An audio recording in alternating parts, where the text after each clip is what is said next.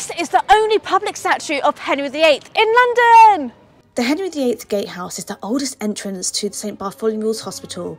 It was designed and built in a Baroque style by the Strong family of masons between 1701 and 1702 as a new entrance from West Smithfield at the north end of the site. The life-size statue by Francis Bird stands above the archway, reflecting the Tudor king's influential role in the history of Britain's oldest hospital. Henry's dissolution of the monasteries in 1539 placed the St Bartholomew's future in doubt.